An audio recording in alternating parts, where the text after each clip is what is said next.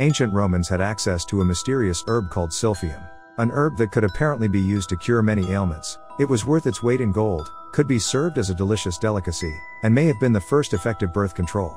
Julius Caesar even had 1,500 pounds of it stashed in the official treasury. You could hear about it in poems and songs of the day, and at one point, it was a common substance used in everyday life. However, sometimes around 54 to 68 AD, the plant vanished altogether from the face of planet Earth. The last stalk was discovered and sent to Emperor Nero. Today, the mysterious plant is still extinct. If rediscovered, its properties could be analyzed, and may be extremely effective in treating certain diseases.